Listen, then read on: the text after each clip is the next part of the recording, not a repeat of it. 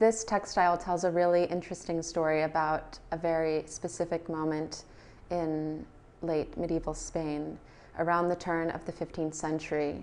Luxury woven silk lampas textiles like this one were produced in the Nasrid kingdom of Granada, which was the last Islamic kingdom to rule in Spain before the expulsion of the Muslims in 1492.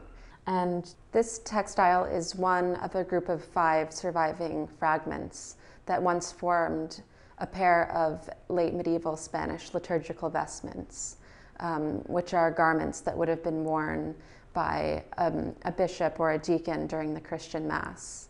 The other fragments that once constituted this pair of liturgical vestments are held in important collections in Europe. One full um, tunic like section, similar to this one, is held in the Musée des Arts Décoratifs in Paris. Another fragment is held in the Cluny Museum in Paris as well. Um, there is a fragment in the Kunstgewerbe Museum in Berlin, and there's also a fragment in the Musée des Tissus in Lyon.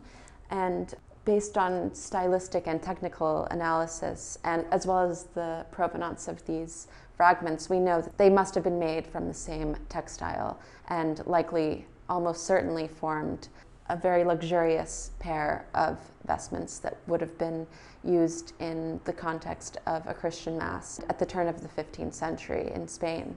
So, um, some of the iconography on this textile points to the kind of multicultural or transcultural nature of this object. So, an example of that is um, are these pseudo calligraphic palmettes that you see um, in this diaper design um, running horizontally across the garment. So we know that these kinds of textiles and the technique of, of weaving silk lampas has its origins in Islamic workshops in Nasrid, Spain. But other elements, interestingly, point to a Christian context for the production of this textile. In particular, the, the rampant lions that make up the main decorative element of the design might refer to the, the heraldry that you see in the context of the Christian kingdom of Castile and Leon, where the lion is really the symbol of the Christian monarchs that rule Spain before and then after the expulsion of the Muslims from, from Spain. And so we know that these textiles were very popular um, in Spain from the 14th century to the beginning of the 16th century, but there's also evidence that they were exported outside of Spain. And the evidence for this is a really wonderful painting by Giovanni Bellini that's held in the collection of the Accademia in Venice. And this painting was begun in 1605 and then completed later by a member of Bellini's workshop. But what makes it really remarkable is that in this biblical scene of the lamentation of Christ, the figure of Mary Magdalene is wearing a silk lampas textile that's almost identical to the one that you see here.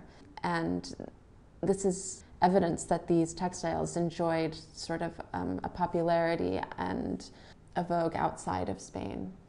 So there are about 30 published examples of variations on this design in collections that have been exhibited worldwide.